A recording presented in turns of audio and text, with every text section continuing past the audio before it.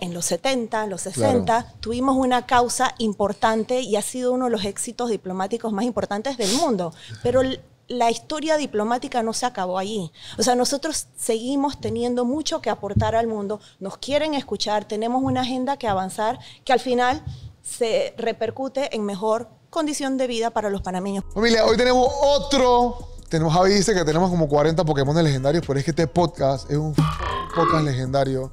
Yo creo que ponle otro ruidito encima del porque no creo que a Erika le gusta. Tenemos a Erika Moines eh, en podcast. Ella, ella fue la super canciller de Panamá que nos defendió en todos lados. Ella trajimos en Harvard tirando puño y patada por Panamá. Y bueno, la trajimos en un charter privado para el podcast, solo para el podcast, para que viniera a respondernos preguntas que tenemos sobre soberanía y sobre democracia.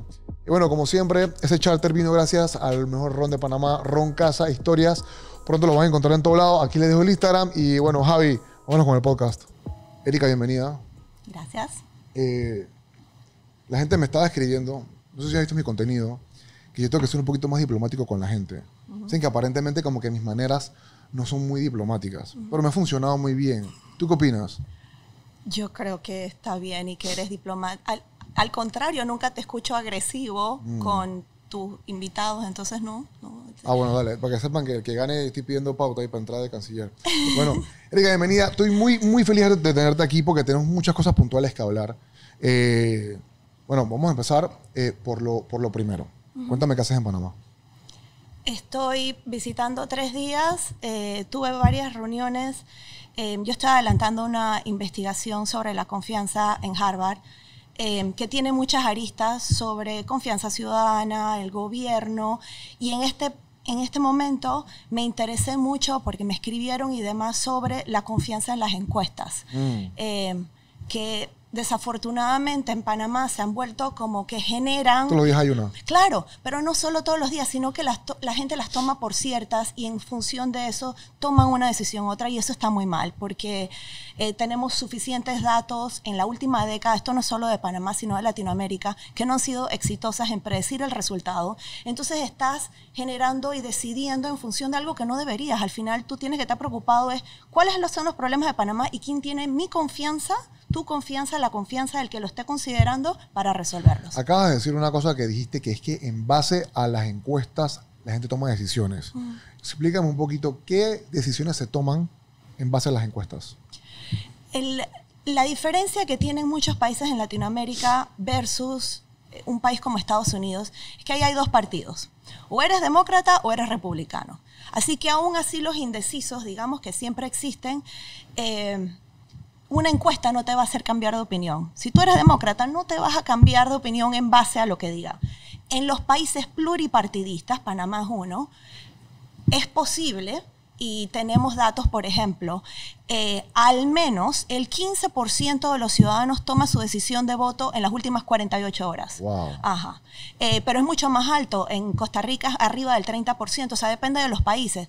Pero lo que estamos hablando es un nivel de indecisión alto que están como esperando a ver qué es lo que le dicen o quién debe ser en función nuevamente porque no hay estos binomios de un lado o el otro. Entonces, eh, me parece injusto y la gente, yo creo en la democratización del conocimiento, que la gente entienda que esa, ese documento que tú estás leyendo puede que no refleje una fotografía de la, de la población y no puedes tomar tu decisión en base a eso. Eso que tú dices que deciden en las últimas 24 eh, horas y 48 horas en otros países, eh, y por lo general, ¿qué quieren, ¿qué quieren decidir? ¿Quieren ser parte del que está de primero? Quieren saber, quieren saber hasta el último momento el, segundo o el tercero o el primero, si estoy votando antigobierno, si estoy con algún candidato controversial. ok, o sea, déjame ver si, a ver, si yo quiero decir que voy a ganador, espero para ver quién está de primero y digo, ay, voté por él, yo voté por el que ganó. y el que quiere que no gane dice, bueno, ¿quién, ¿quién está de segundo? ¿Quién está de segundo? ¿Quién está de segundo? Aunque, claro, y ahí, ahí sí le encuentro sentido el porqué de eso. Ahora, yo no sabía jamás que en Panamá era tan alto ese número. ¿ah? Sí, y no solo eso. Lo que pasa es que tú piensas, hace 30 años, 40 años, había una identificación ideológica en todos los países de Latinoamérica. O eras de izquierda, eres de derecha, te identificabas, tenías una bandera pintada en tu jardín, lo que sea. Hoy en día, esa identificación ha disminuido enormemente. Ahora lo que tenemos es un montón de gente indecisa que no se identifica y que está esperando un poco, entonces, que te pregunten hoy ¿Qué es lo que tú vas a hacer en un año? Si tú probablemente no sabes ni qué es lo que vas a hacer el fin de semana, entonces dirás algo del momento, pero realmente no es garantía de que así vas a proceder. Entonces, no puedo yo tomar mi decisión en base a lo que tú dijiste en un momento que quizás no sabes o vas a cambiar de opinión. Cuando tú haces esta investigación o como tú la comienzas, ¿por qué nace esa, esa idea? O sea, ¿por qué ese tema específico? A ver, yo estoy muy interesada en la confianza porque el nivel de confianza de Latino, de todos los latinoamericanos en nuestros gobiernos es bajísimo, es el más bajo de todo el mundo. Nosotros tenemos menos confianza en nuestros gobiernos que los africanos sobre los gobiernos africanos, por ejemplo. Wow. bueno, pues eso tiene tampoco sentido. Bueno, pero, o sea, aquí hay un problema y hay un problema serio. Y entonces, esos péndulos que hablan, que si la izquierda, que si la derecha, que si cambian, en las últimas elecciones, todas el que ha ganado es el candidato opositor principal. Mm. O sea, eh, no hay esta estabilidad, no hay esta sostenibilidad. ¿Por qué? ¿Qué es lo que está pasando y por qué tenemos toda esta frustración? O sea, eso hay que entenderlo y luego, eh, más que preocuparlo, porque sí, sabemos que no tenemos confianza, pero ya si te quedas hasta allí nada más describiste el problema. Y yo creo que uno tiene que pensar en la solución. ¿Qué podemos hacer? Hablemos con todos. ¿Qué herramientas puntuales fáciles de, de implementar mm. podrían ayudar a mejorar ese nivel de confianza? Mira, eso que, eso que, para que la gente que nos está viendo, escuchando, ese, ese cuento de que siempre gana el partido opositor es una mentira que nos han dicho que es como un check and balance latino. Y cada es que no puede repetir, bueno, para que haya un check and balance latino, ¿no? un peso y contrapeso. Eh, pero en el caso de, de, los países de primer mundo y muchas veces Estados Unidos, siempre hay continuidad en el gobierno. ¿Es real que en un país haya verdaderos cambios en solo cinco años? Que pueden haber cambios, por supuesto, por supuesto. O sea, aquí con voluntad, nosotros, por ejemplo, Panamá es un país de muchísimos recursos. Y que tú hables hoy en día que aquí hay mucha gente que no tiene agua potable, es absolutamente irrisorio. O sea, entonces, aquí nosotros tenemos unos, unas necesidades absolutamente básicas que no hemos cubierto y que nadie me puede explicar a mí que en cinco años no se pueden resolver con voluntad. Pero ojo, eh, los problemas los proyectos, y que yo creo mucho en proyectos grandes de infraestructura, porque automáticamente Panamá es un país pequeño, por ejemplo, tú generas uno de esos proyectos y empleas a medio mundo y vienen de afuera y lo hemos visto, ¿no? Esos proyectos no se generan, se licitan, se financian, se conciben en un día, ni en un mes, ni en cinco meses. Entonces, tú no puedes llegar a un gobierno y diciendo, ahora voy a pensarme y voy a traer, ya tú pensaste cómo lo vas a financiar, porque piensa el caso de Panamá.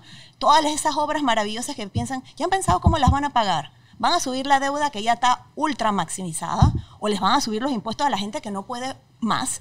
O sea, ¿de dónde vas a sacar esos recursos? O sea, toda esa parte y ese engranaje, tú no puedes llegar porque un proyecto requiere eh, factibilidad, impacto ambiental, o sea, todas estas cosas. Entonces, si te la pasas en eso para cuando acabas bien el próximo gobierno, hay que tener algo de eso. Y la otra parte que hemos hecho de la investigación es que esas llamadas lunas de miel de mm. los gobiernos se han acortado. El capital social, por haber confianza tan baja en los gobiernos, es cada vez más pequeña esa ventanita. Entonces tú tienes que realmente entrar con una determinación de esto es lo que voy a hacer y esto es lo que voy a hacer temprano, porque no lo puedo hacer en el año 4 o en el año... Y aquí, bueno, Panamá, por ejemplo, ahora se han extendido estas campañas electorales eternas en donde ya gobierno de dos años y el resto es campañas y campañas y campañas, ¿no? eso se siente, de verdad que sí.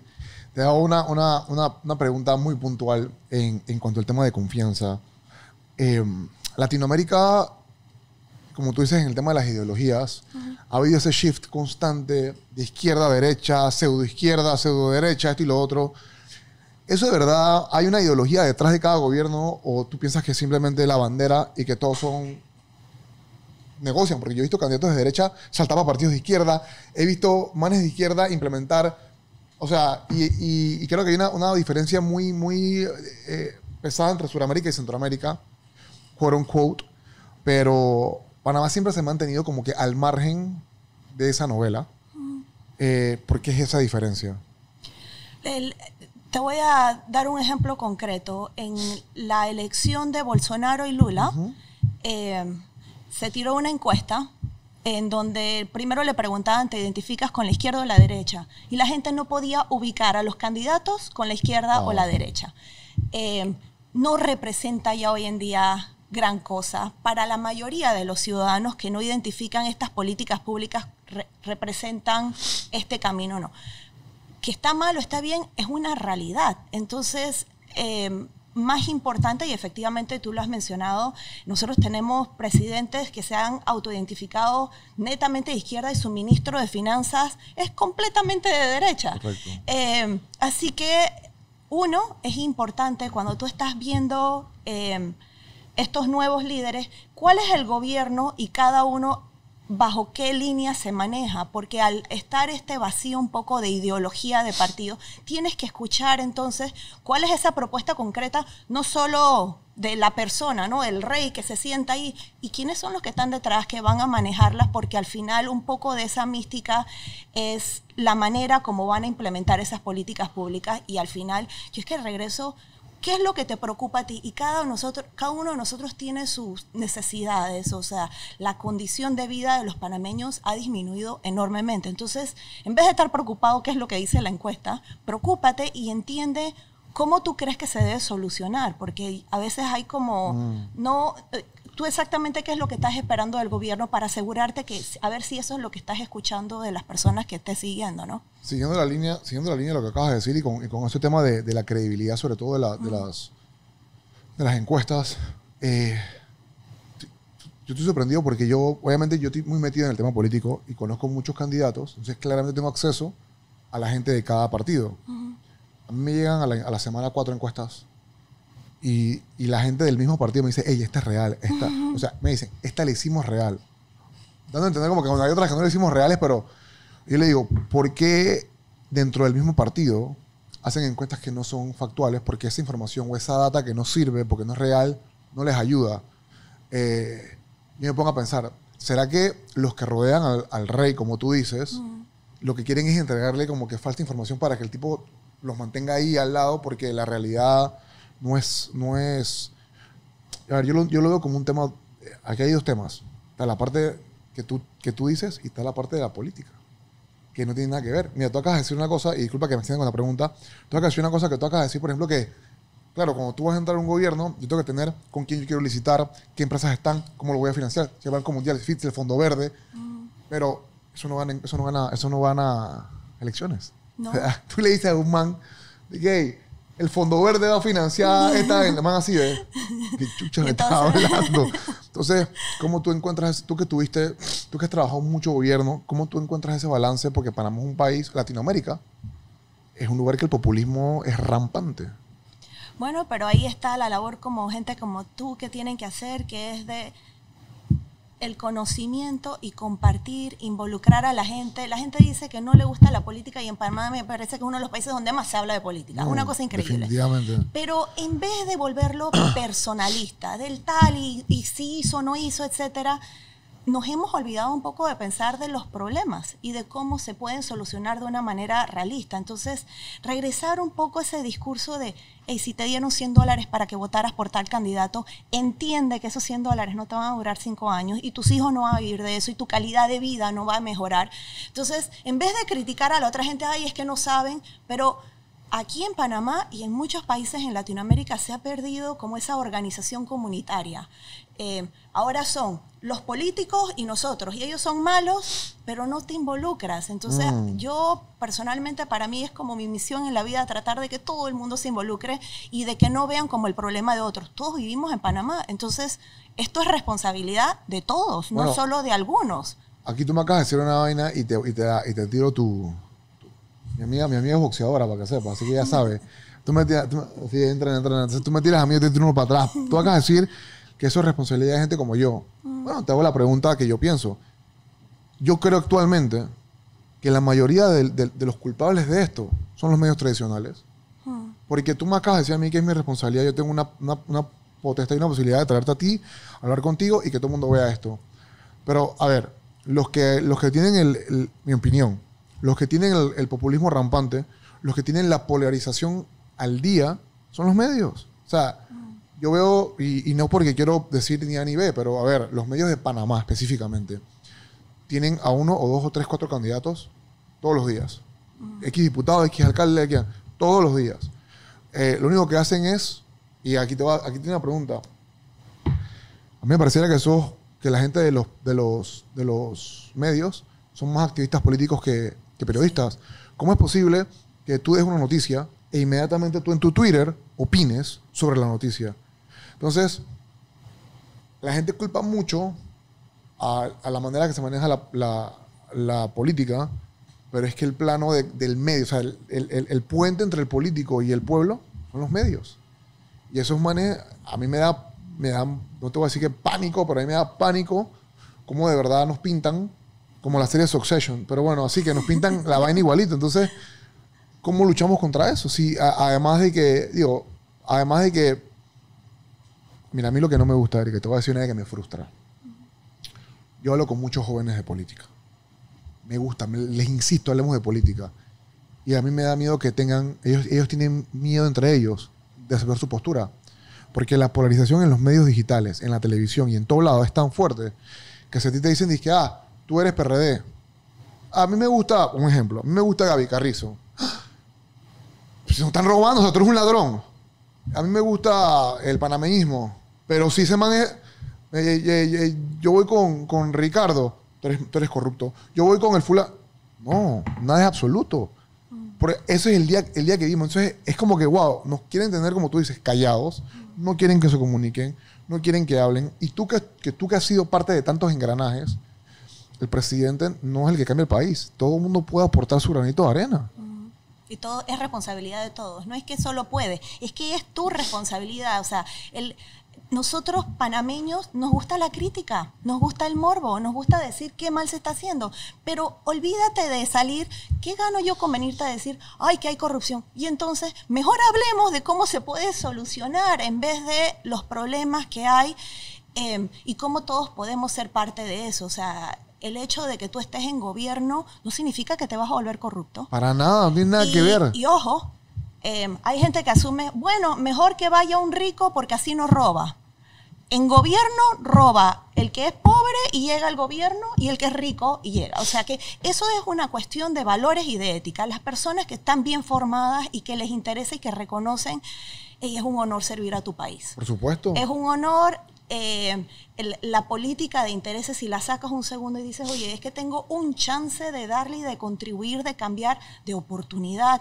Eh, es un trabajo, yo creo, que, que te da y te, te da una enorme satisfacción propia. Entonces, si tú por un segundo dices, es que esto es todo lo que yo tengo, no necesito más salario, no necesito absolutamente más nada que salir al día siguiente y Mira, lo más importante es salir sintiéndote bien, no llegar a. Y aquí todo el mundo se preocupa en Mm, cómo llego a sentarme en esa silla, no cómo salgo bien por de la supuesto, silla. Por supuesto, ¿no? Y lo, que- y lo que tú has decir puntual, por ejemplo, a ver, y, y se lo digo a los pelados, porque mi lucha es, hey, métanse, involúcrense, que se metan a ser políticos, ta, ta, ta, ta, ta, ta. Mira, ¿cómo puede ser, y, y, y cuando se lo digo y le expongo un tema, porque están tan polarizados, tienen tanto miedo y le han clavado tantas cosas en la cabeza, que le digo, ok, tú no vas por el, vamos a el partido actual, el PRD de Nito Cortizo. Ya.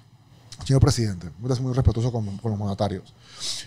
Si a mí me dicen, Oli, el presidente necesita tu ayuda para, para tal proyecto, yo le voy a decir que sí, a quien sea. ¿Por qué?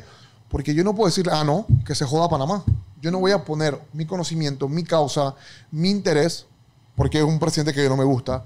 Si es mi, es mi gobierno, ahí pago mis impuestos, en ese país vivo, y de las políticas públicas se determina mi calidad de vida.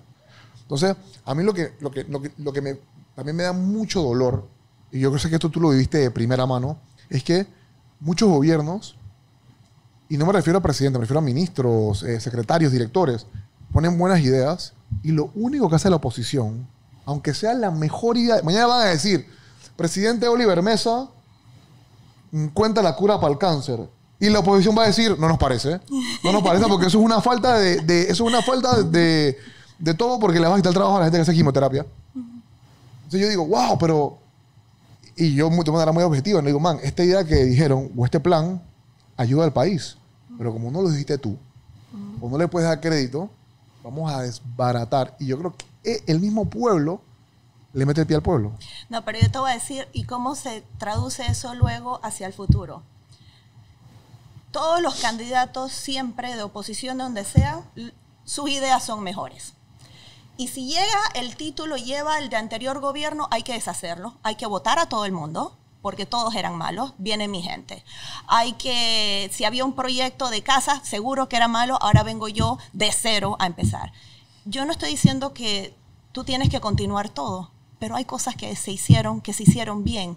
Y la capacidad de continuar en el tiempo, a pesar de que no tenga tu nombre, ayuda al país. Y Panamá ha tenido en todo estrategia de turismo de cinco años, estrategia de atracción de inversiones de cinco años y las van cambiando. Tú necesitas estrategias en el tiempo y no decir es que todo era malo y ahora empiezo de cero, porque ni tú lograste ni el anterior, Claro. me explico, ¿no? Y el otro que viene la va a parar No, tuya. Sí, siempre. Te quiero, quiero pick your brain con temas puntuales en base a tu experiencia, conocimiento y grandes estudios. Tú sabes que yo tenemos eh, eh, estudios parecidos. Ella veía Berkeley, New York, pero ella comenzó en la USMA, en la USMA, y yo en la LAT usando la tumba muerts. O sea que en verdad es la misma vaina las dos. yo Eh, estudié dos carreras a la vez y tú también, ¿no? Sí. bueno. pero yo me lo fue periodismo, Ajá. para que los periodistas no me digan ni, bueno, eso. Eh, mira, quiero pick your brain con lo siguiente. Eh, lo primero es el tema de la soberanía panameña. Eh, la soberanía panameña siempre ha sido un tema desde, desde la época 70, 80, 60, muy fuerte, ¿no? El tema de seamos soberanos, eh, para mí la soberanía no se negocia. Pero estos últimos años hemos visto un baile de posturas de lo que le convenga, ¿no? Nunca había visto, y tú me vas a corregir, pero nunca había visto una embajada de Estados Unidos tan opinionated. Con los temas de Panamá. ¿Ok? Eh, mm, a, mí me da, a mí me da opinión personal, a mí me da mucha risa, porque cuando Estados Unidos dice algo y a ti no te gusta Estados Unidos, tú dices, ay, el país que más guerras tiene, el país que más importa droga, el país que más esto y lo otro. Pero cuando Estados Unidos dice lo que te conviene, tú dices, uy, el país número uno, o sea, lo- lo- los... Entonces, no me gusta que la gente vaya la vara con ese tema. No me gusta que tenga opinión de mi país. Y quiero saber, primer, primera pregunta específica, ¿tú qué opinas de que haya habido tantas opiniones del, del gobierno de Estados Unidos en cuanto, en cuanto a la política panameña? Sí, yo, a ver, comparto primero uno, que la soberanía no se negocia, pero yo creo que más importante que pensar en soberanía es que Panamá tiene su capacidad de autodeterminación y no necesitamos a más nadie. ¿Qué significa eso? Que tú tienes que tener tu agenda propia y que cuando no tienes agenda te la imponen. ¿Qué agenda tenemos ahorita mismo con Estados Unidos? ¿Qué estamos pidiendo? ¿Qué estamos esperando de ellos? Porque si tú no estás esperando nada, te imponen la agenda. Tú tienes que llegar y tener las relaciones diplomáticas, bilaterales, con cualquier país con tu propia agenda. Eh, si tú no impones y marcas la tónica, y ahí es el momento de no, eh, eh, no entender el valor que Panamá tiene. Nosotros tenemos un valor estratégico que todo el mundo reconoce y a veces a nosotros se nos olvida y piensan, nos van a olvidar o nos van a decir, oye, ¿tú sabes dónde estás sentado? Esto es un lugar estratégico para todo el mundo y así lo valoran. Entonces, ahí es un poco, súbete un poco y entiende dónde estás parado. Eh, y llama a capítulo y pon el orden en todos lados, para la derecha, sea Colombia, sea Costa Rica, Estados Unidos, quien sea, pero esa tónica la marca uno. Entonces, no nos podemos agobiar cuando simplemente no hemos hecho ese ejercicio de decir, esto es lo que a mí me interesa, esto es lo que quiero y esto es lo que espero y el respeto que espero de todos. Completamente de acuerdo contigo. Me gustó mucho. Si no, si no, si no tienes tu agenda, te la imponen. Pregunta número dos. Eh, el tema de las listas. Eh, leo muchos comentarios. Me dicen, ah, es que Panamá pasó esto. Merecemos estar en las listas. El tema de las listas, aquí, aquí voy a hablar desde un punto ignorante porque nunca he estado en, en la jugada. Veo todo desde afuera y leo. Pero yo conozco las leyes bancarias de Estados Unidos. Conozco cómo yo puedo llegar al banco, con qué plata. Yo conozco cómo funciona en, en- en países como Uganda, Dubái, Europa. Y yo te diría una cosa que Estados Unidos tiene varios estados en el que tú puedes hacer más de tres cosas. Tienes Bahamas y las Vírgenes. España tiene Andorra. Inglaterra tiene Irlanda. Francia, que nos meten todo, tiene Mónaco. China tiene Hong Kong, tiene Macao. Y el punto para la gente no- que no está entendiendo es que todos estos países de primer mundo que nos meten en todo tienen sus paraísos Por supuesto. Fiscales. Por supuesto. a nosotros nos, nos acusan, nos hacen show mi opinión, tú me dirás tu postura, es que lo único que están haciendo es mermando nuestra capacidad de realmente aprovechar de muchas facilidades bancarias para otros países y servicios. Y el panameño se come ese cuento. Ay, es que somos... No, no, no, no tienen idea cómo son los países y lo que hacen los países que nos ponen en estas listas. Y a mí me da mucha rabia porque este es un ejemplo. Yo soy un consultor. Yo lo comenté y tú en Estados Unidos llegas a un banco con un contrato que dice consultoría y listo. Aquí te acusan de, de, todo. Aquí es ilegal, aquí esto y lo otro. Eh, eso a mí me frustra porque el, el, panameño opina dándose plomo por países que no tienen idea de lo que está pasando. Entonces, ¿cómo tú manejas eso? ¿Qué tú piensas de eso? Em, dos cosas. Uno, estoy uno plenamente de acuerdo con lo que tú dices y lo tenemos medido. A ver, cuando a nosotros nos meten en la lista y que se va un montón de capital aquí, ¿tú sabes dónde acaba? En Miami. Si era dinero mal habido, qué bien que allá se fue y allá no es dinero mal habido. Em, Increíble. Y, y, como eso también ha pasado, Suiza pasó por un problema complicado de lista y no sé qué, y todo el dinero en Estados Unidos. Qué conveniente. Dicho eso, Panamá está metido en las listas. Entonces, tú lo primero que tienes que hacer es salir de ellas lo más rápido porque nos está haciendo daño. Pero una vez que salgas de ellas, que nunca debimos haber entrado y no podemos estar en ese tira y jala porque nos está haciendo daño, eh, yo creo que nosotros tenemos que como reclaim nuestro valor y nuestro el respeto era de lo que hablaba. O sea, yo estuve en Miami hace poco hablando precisamente de los movimientos y cómo allí todo lo que llegaba nadie estaba haciendo o hablando nada al respecto. Entonces, eh, yo creo que no nos tenemos que tener miedo a otros países por lo que nos van a hacer. Absolutamente no. Nuevamente, aquí regreso al valor que nosotros tenemos. Hay un trabajo que hacer que creo que ya está a punto de terminarse. Aleluya. Nosotros teníamos que salir y vamos a salir de las listas, pero una vez que salimos, no debe haber manera que nosotros volvamos a entrar a eso. Porque una vez que ya estás metido en el hueco, esto es un problema, ¿no? Porque estás por un lado diciendo, ay, es que te llevas los dineros, pero por el otro estás en esta lista donde estás mm. tachado como, ¿no? Eh, paraíso fiscal y todas esas historias. Y hay que hacer un trabajo muy muy, muy duro para recuperar parte de esa reputación de país, porque luego te vas a España y te chequean cuatro veces si vienes de Panamá versus si vienes de Costa Rica o de Colombia. Eso no puede ser.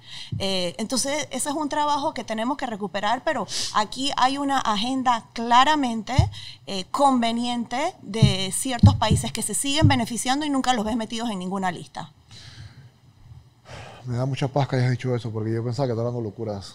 Así que, y, claro, mucha gente no, no, no, conoce, o sea, desconoce el tema y tiene miedo de, tener una postura firme sobre ese tema. Eh, la otra pregunta que te quería hacer era sobre la democracia de este país. A ver, em, hace poco, en Guatemala, eh, le quitaron el, la oportunidad de correr al, al, que estaba número uno mm, para ser para presidente, ¿ok? Yo hace poco eh, me leí un libro que me regaló un tío, que habla sobre eh, el autoritarismo, habla sobre el populismo, habla sobre cómo los gobiernos manipulan los pueblos para mantener el poder. Y a mí me da un poquito de preocupación cómo Panamá está cayendo en esos juegos. Y te quiero hacer una pregunta muy puntual. Ahora mismo estamos en el tema de, de un candidato que está siendo juzgado por tercera vez y puede perder la oportunidad de correr si su sentencia queda en firme. ¿Okay? ¿Dónde está el balance entre que el panameño escoja quién es su, su, candidato? El fuero electoral se crea para proteger la democracia, no el candidato. Se crea porque yo no me imagino qué pasa en un país que un mes antes, dos meses antes de que el candidato que tiene el 40, 50, no sé, por ciento de los votos, tú le digas al pueblo de que, ¿sabes qué? No corres. Yo creo que por eso se hacen los juicios o antes o después. Mucho, mucho panameño con su postura celebra, sí que no, pero yo creo que si, a ver, si logran utilizar esta táctica para que no corra, a mí no me importa si corre o no corre esa parte, eso no es el tema. El punto es que estamos abriendo una caja de Pandora para truncar la democracia de diferentes maneras, porque el que lo hace uno, lo hace dos, lo hace tres. ¿Tú qué opinas de este caso específico? A ver, el, cuando tú hablas de democracia en general y el caso que citas de Guatemala, tú sabes que es lo más importante em, para mantener esa democracia. una real institucionalidad. Porque si tú tienes institucionalidad, que en Panamá es un sistema netamente presidencialista, Mm. eh, ¿no? O sea, Sí, aquí claro.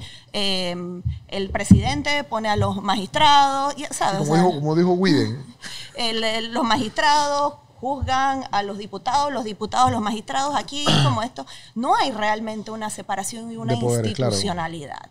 Todos están de alguna manera conectados. Mientras tú tengas mayor fortaleza, y eso no tiene que ver con las personas ahorita mismo, simplemente que es nuestro sistema. Mm. Y por eso la importancia de que cada institución se maneje de una manera independiente y pueda seguir, porque si no estás en estos sistemas uber presidencialistas siguiendo una ruta específica para favorecerse o para mantenerse o para perpetuarse en el poder. Yo creo que el mayor beneficio o, la mayor, o lo mejor que podemos darle a nuestro país es entender que la fortaleza de esas instituciones separadas o esa separación real que no existe en la mayoría de nuestros países en este momento es importante, uno. Y dos, aquí regreso al rol de la prensa, el rol de los medios. Eh, cuando hay todas estas concentraciones eh, de poder de, alguna, de alguno de esos poderes en particular, el que ha sacado adelante, por ejemplo, investigaciones durísimas como fue Odebrecht, en alguna medida fue el rol de la prensa.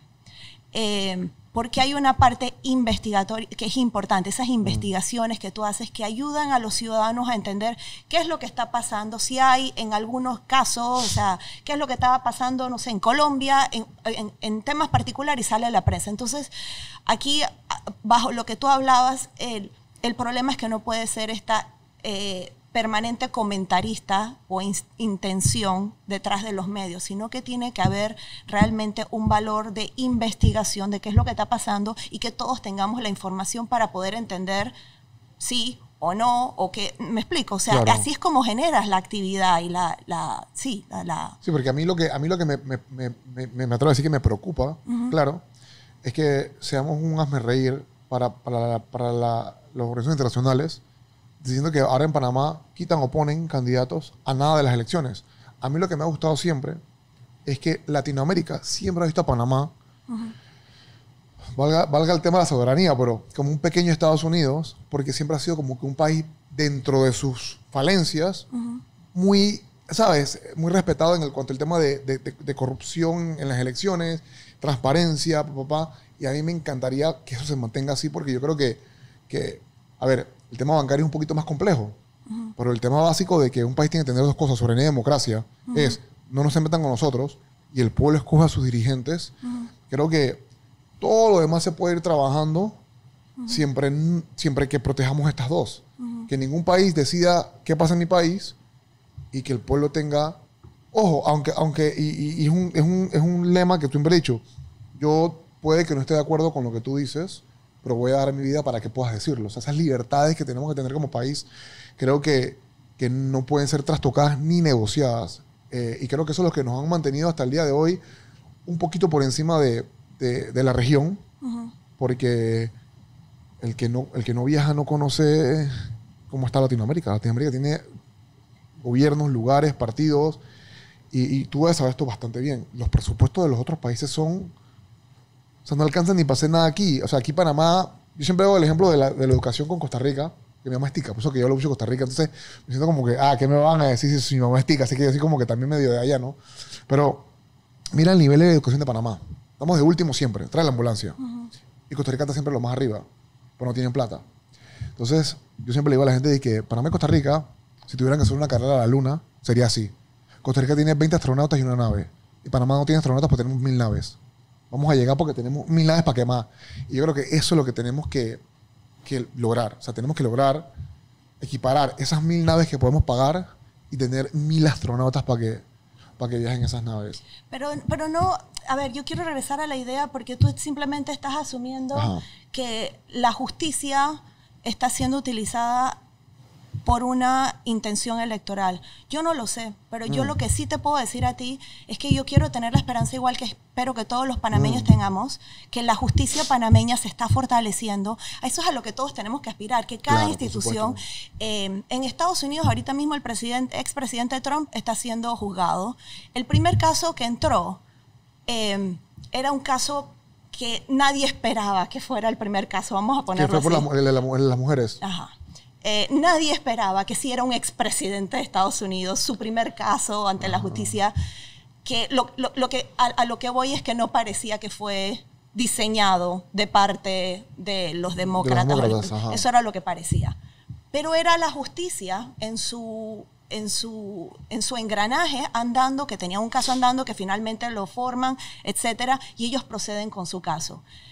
En la medida que todo funcione así, es decir, yo te voy a jugar a ti porque si te robaste la plata tengo que ir detrás tuyo. ¿Me explico?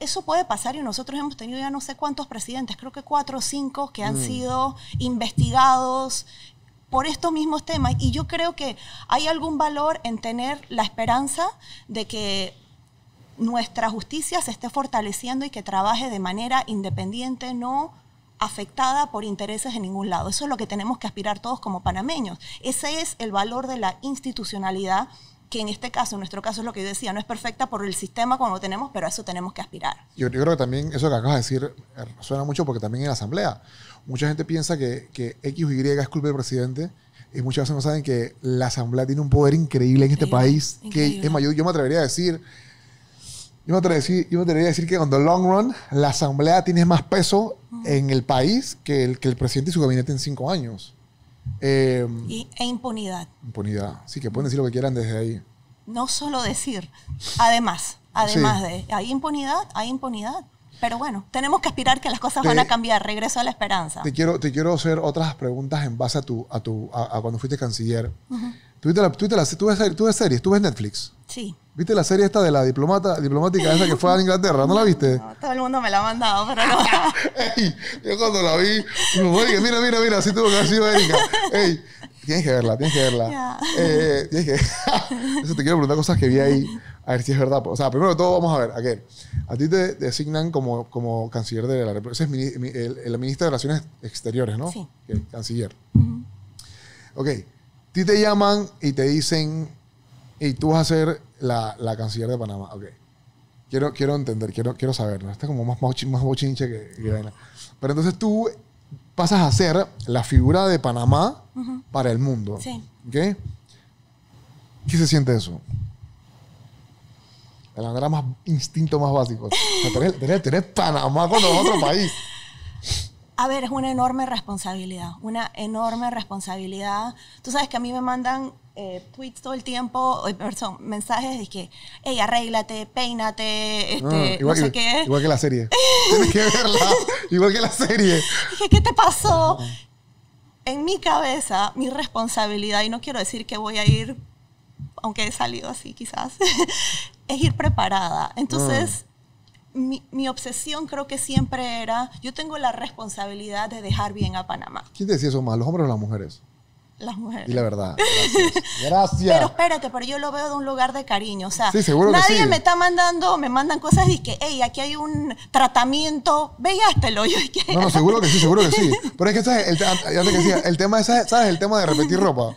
Sí, que las mujeres, y que, Ah, y que- también me y lo que a mí me cuesta, y que a mí me cuesta mucho porque es que tenemos, no repetimos, y dije, pero, pero eso es culpa tuya y de tus amigas, porque a nadie de nosotros nos importa si repiten ropa. Este pueblo yo lo usaba como en 80 podcasts y yo lo amo, y que hoy, me toca, yo decido qué me voy a poner, cómo me lo pone mi empleada, y que, ah, hoy me toca blanco.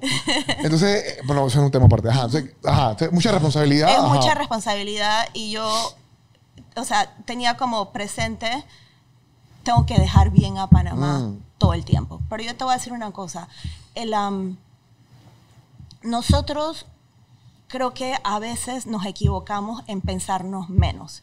Y aquí hay profesionales extraordinariamente, o sea, cada vez que tenemos un problema es, vamos a ver a quién traemos de afuera. ¿Cómo por qué? Tú no sabes que 100%. aquí hay gente extraordinaria, preparada, y yo en mi medida yo jamás me sentí intimidada sentándome con todos los cancilleres, presidentes. Yo decía, yo estudié lo mismo que tú, me preparé igual que tú, y en esta reunión, cuidado que me leí más cosas que tú. Entonces, yo creo que de ese empoderamiento es importante, porque si no estás como agachadito en la reunión, como, ojalá que no me avisen, quiero que nada pase. No, no, no, no, no. Nosotros tenemos algo que aportar, y cuando tú regresabas al tema de la soberanía, Panamá en los 70, los 60, tuvimos una causa importante y ha sido uno de los éxitos diplomáticos más importantes del mundo. Pero la historia diplomática no se acabó allí. O sea, nosotros seguimos teniendo mucho que aportar al mundo, nos quieren escuchar, tenemos una agenda que avanzar que al final se repercute en mejor condición de vida para los panameños, porque donde dejas tu nombre en alto, o sea, eh, nosotros teníamos un proyecto que se llama Misión Panamá para salir en un montón de periódicos de afuera hablando de cosas positivas de Panamá, que es lo que necesitamos, de empoderamiento de mujer, de cambio climático, y te sonarán cosas como, ay, cambio climático, y todo el mundo está hablando de cambio climático, y cada vez que aportamos algo bueno, salimos en todo, salimos bien, salimos bien, lo necesitamos. Y como canciller, ¿qué herramientas tienes tú para coercer otros países? Coercer, sí. O sea, por ejemplo, tú di que, a ver, no sé, estas son ya locuras mías, ¿no? Yo, me pongo tus zapatos, tus tacones. Dije, tú llegabas ahí y tú puedes decir, por ejemplo, dije, mire señor, bájame el tono de voz o sus barcos van a pagar más aranceles. ¿No, nunca tuviste una posición así o, o, o, tenías esa, esa potestad? A ver, si te digo honestamente, muchas veces la quise tener y no la, no la tuve. Yo creo que nosotros deberíamos... ¿Tener más huevos? Tener un rol, sí, más fuerte. Nosotros tenemos aquí cosas importantes y creo que podríamos mover un poco, pero Dicho eso, eh, todo el mundo tiene su estilo. Y mi estilo de conectarme con la gente no es un estilo agresivo, creo que es un estilo muy humano y auténtico. Y yo creo que a través de eso, a ver, yo tengo en chat no sé cuántos cancilleres, montones que todavía me chatean o me escriben y que me estoy pasando. O le digo, que y acaba de ver este árbol que me dijiste que tu esposa te lo mandó. Y yo creo que esa conexión muy humana es, es refresca. En el mundo de la diplomacia donde te tratan como, hola, siéntate ahí, no, no, no, o sea, y oye, échame el cuento de, ¿pudiste correr ayer o llegaste tarde del aeropuerto? ¿Me explico? Eh, yo creo que esa conexión humana no necesariamente tienes que ir a sentarte a, gritarle, sino... Eh, y, te ayuda a mover la balanza. Te sorprenderías cuántas veces tienes una oportunidad que te dicen, oh, oye, Panamá debería estar aquí, te interesa que los incluyamos, mm. porque tienes esa conexión humana, auténtica, ¿no? Em, yo creo que hace 30, 40 años la diplomacia vivía solo de la reunión de pasillo, ¿no? Claro, claro, claro, claro, em, claro y no sabías cuando te sentabas con la persona de enfrente si tenía y había hablado con otros tres países o quería yo creo que es refrescante tratar una manera nueva, más auténtica de es lo que hay, esto es lo que queremos, ni te preocupes porque no te voy a cruzar en el otro lado porque esto es realmente lo que quiero y lo que me interesa, pero decirlo de frente. Si no llegas con agenda, olvídate. Estás ahí echando cuentos y qué bonito eh, la obra social que tuviste, pero no resolviste nada para tu país. Claro, tiene todo el sentido del mundo porque te abre más puertas de conocimiento y también me imagino que las perspectivas de otros países, como decir, man, Panamá podría hacer esto, podría hacer lo otro, claro, y tú tienes ese canal. Y, y en cuanto a la vida tuya viajando, constantes viajes, constantes países diferentes, ¿cómo la viviste? ¿Qué te, te gustó o no te gustó? Bueno, yo soy mamá, así que mm. yo sí te tengo que decir, yo escogí muchísimo muy pensados, aquellos que yo pensaba que eran absolutamente necesarios para estar el mínimo tiempo posible. Yo además viví tiempos de pandemia, con lo cual tenía encima más pensado como cómo se debe manejar esto de una manera eficiente de recursos. Eh, y, y, yo quería estar aquí con mis hijos lo más pronto posible, ¿no? Entonces, es como yo hago ese tiempo eficiente de tengo que estar en la reunión o conectar, estar, ¿no? Entonces las agendas son súper cargadas o eran súper cargadas, súper. Y el tema de manejar cónsules, embajadas, embajadores, esto y lo otro, ¿tú, ¿tú qué postura tienes sobre eso? Porque yo siento que hay muchos embajadores o, consulados que no sé si de repente se les puede, no sé si dar más responsabilidad o exigir más, como hay otros que tal vez su trabajo solamente es como que estar ahí. O sea, ¿cómo, cómo es tu postura con esta, e, e, este organigrama eh, internacional del país? Uno, yo creo que hay que profesionalizar más, significa que hay que darle más oportunidad más. El, el- el contingente que nosotros tenemos de embajadores que vienen de carrera es minúsculo. Y tendríamos que tener esta historia de que eres donante de campaña y entonces eh, viene presidencia y te Estamos, pone... a, estamos a Miami. Eso no significa que automáticamente no vayan a trabajar y hay muchos que vienen de esa línea que lo han dado el Y todo. que hace un buen trabajo, claro, por supuesto. Extraordinario. Pero a mí me gustaría, si tuviera la capacidad, yo creo que el, ese contingente que se han matado por tantos años, que conocen muy bien cómo se maneja y cómo llegas a las agendas, debería ser mayor. Pero dos, eh, hay un rol importante de los embajadores y de los cónsules que no es la reunión de cóctel, ¿me explico? Eh, y tú lo ves aquí mismo, mire, yo te voy a dar un ejemplo a ti que te gusta el deporte. Eh, yo obsesionada también por el deporte, eh, empecé con una iniciativa en donde todas las embajadas aquí o los embajadores íbamos a visitar alguna, le decía, escoge tú el deporte que quieras. Eh, el embajador chino, "Ah, me gusta el ping-pong, o la embajadora canadiense, me gusta lo de kayak. Ok, perfecto. Y haz un- algo, dona algo, eh, involúcrate. Todos querían participar. O sea, lo que te quiero decir es que para ellos venden su país, salen en todas las redes, la gente contenta, el de, el de Japón también, por ejemplo, que quería de karate, ay, yo les doy los uniformes. Entonces tú vas buscando cómo hacer ese engranaje de que él vende su país, tú te aprovechas de ese servicio exterior en Panamá o al contrario, el nuestro allá, y se van generando eh, esas oportunidades que no solo son económicas, también culturales, que son muy bonitas, ¿no? De intercambios de comida, etcétera, música, hay tanto. Mira, la gastronomía panameña, aquí hay tanto para vender. Si tú te organizas y haces... eh, una real estrategia diplomática afuera y adentro en el turismo de lo que tenemos, de los circuitos que se han creado, de todos estos chefs que tienen para aportar. Sí, claro, Entonces, claro, claro. sí, aquí hay mucho para vender. Y además la gente habla mucho del café de boquete y tienen que entender una cosa. El producto número uno de Panamá es la piña de chorrera. Ya saben, la piña de chorrera es la número uno a nivel mundial. Después el café y esas manzanilladas. Es que, ajá, de nada, muchachos. Entonces, ¿qué te iba a decir? Erika, eh, y tengo una pregunta. Tú, eh, a ver, yo he tenido la dicha de, de conversar con mucha gente en la política y muy pocos o sea, no quiero sonar así como... Pero sí, hay, mu- mu- hay muchos que están en panga. O sea, eh, no tienen mucha carisma, no tienen mucho manejo, se pierden en lo político, les falta lo humano. Otros, vamos a decir que hay gente un poquito, un poquito más ah, suelta en, en- en diferentes temas ajenos a lo político.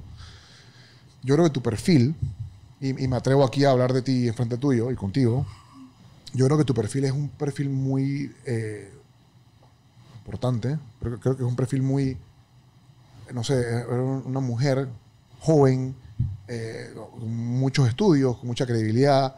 Hiciste un gran papel. Me acuerdo que, que creo que ha sido de las pocas políticas aplaudidas después de dar ciertas declaraciones, o estoy súper claro, obviamente.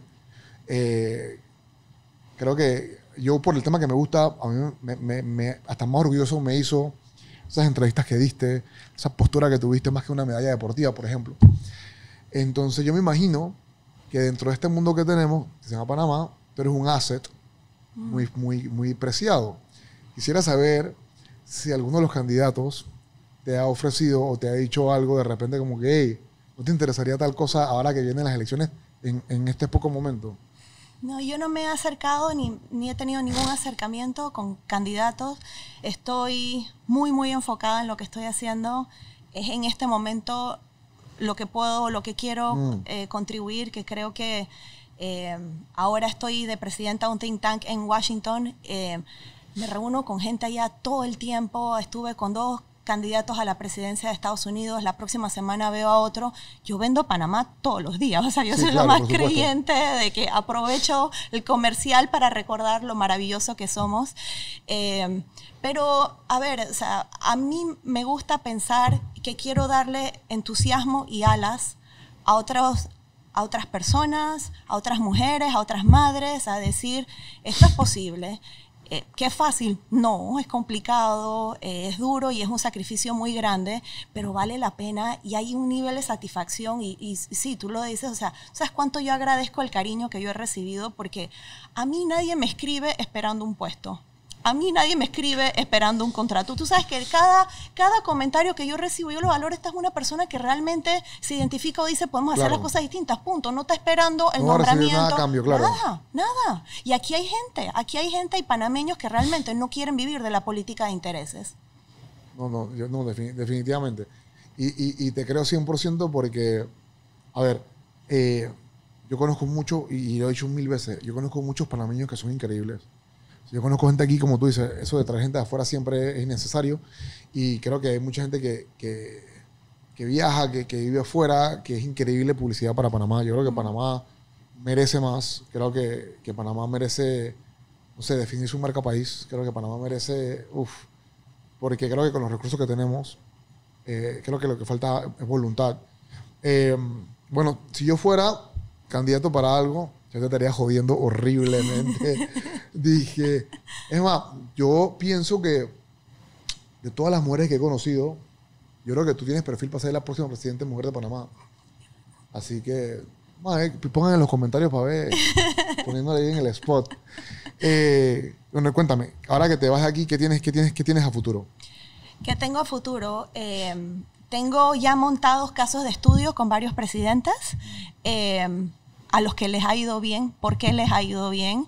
Eh, ya sé que me han criticado porque he estado organizando, por ejemplo, con el presidente Bukele. Ay, que por qué y que lo estás avalando. Ey, eso es un caso de estudio. Cien mil por Yo no sé qué es lo que les pasa. No pueden ver, o sea, es todo lo malo. Sea, Perdón, pero o sea, el hombre tiene ahorita mismo dentro de su país uno de los niveles de credibilidad más altos. El más alto. Así que, Seguido por Chávez de Costa Rica. ¿por qué no, por- como yo no entiendo, por qué no podemos analizar, por qué no podemos entender qué es lo que está pasando allí, qué ha hecho bien, cómo lo ha hecho?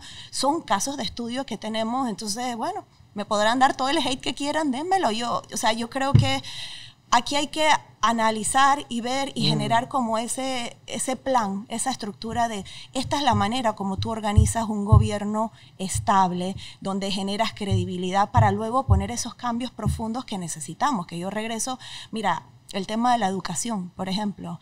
Eh, yo me siento en deuda con, con el resto en la medida que no contribuyo a que todos tengan las mismas oportunidades que yo tuve.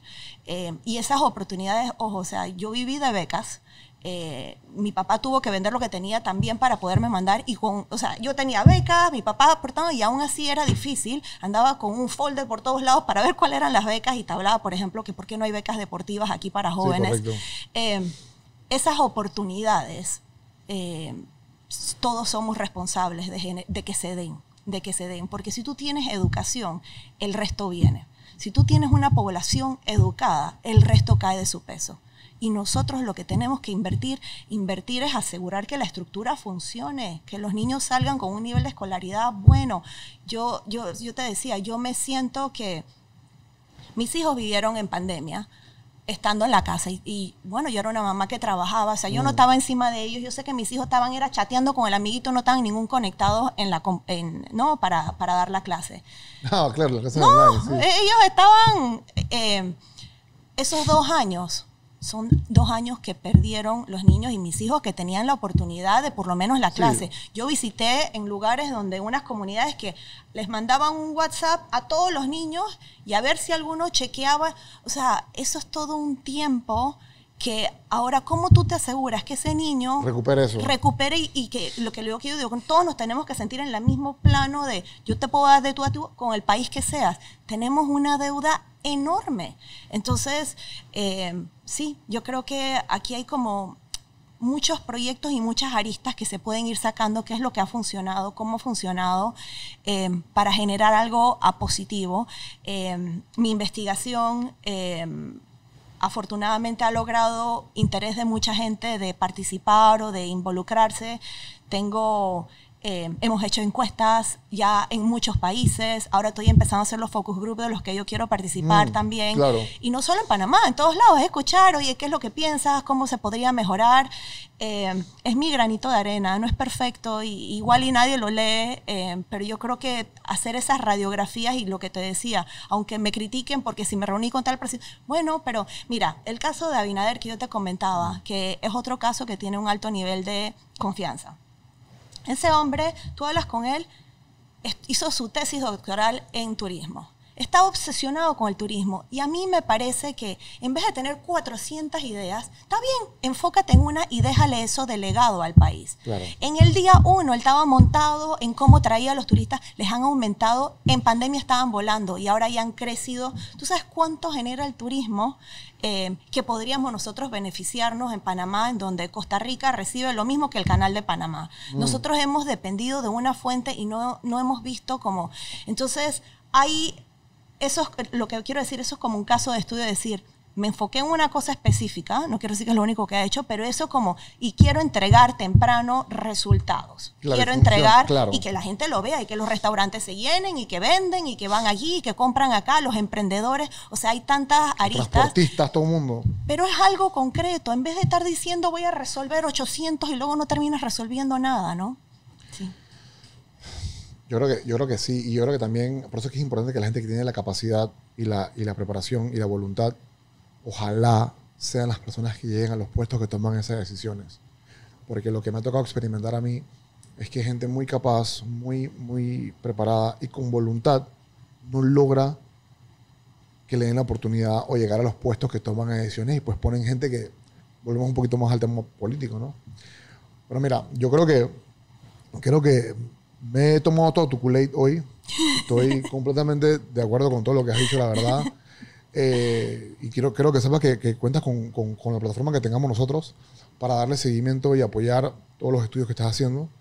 Así que, bueno, no sé, unas últimas palabras para tu fanaticada que te está viendo. Últimas palabras yo creo que son positivas. Mira, tú sabes que yo venía para acá y venía a la gente formada para subirse al bus, igual que ahorita está pasando en el metro. Eso no pasaba antes. Ese es Panamá. Nosotros somos capaces de organizarnos, o sea, las cosas que dicen, pero es que somos panameños y no van a cambiar, no, señor, sí vamos a cambiar poco a poco, ver a la gente recogiendo con el perrito, etcétera, poco a poco uno va cambiando, pero esa esperanza tiene que ir de la mano con activismo. Eh, no puedes ser optimista y esperar que las cosas no pasen. Entonces, si tú estás escuchando esto, piensa, ¿qué puedes hacer? Piensa qué puedes hacer por tu país, sales afuera y dices, en esto me voy a enfocar, en la basura, oye, la basura, tú has visto lo que es la basura en Panamá, es lo que digo, son las condiciones mínimas que uno tiene que arreglar, que son posibles, pero eh, requiere de todos. Bueno, ya saben, familia, aquí les voy a dejar el, toda la información de, Erika. Muchísimas gracias. Gracias. Y, gracias, Javi. Gracias, Robertito. Estamos listos. Perfecto. Oye, súper bien. ¿ah? Buenísimo.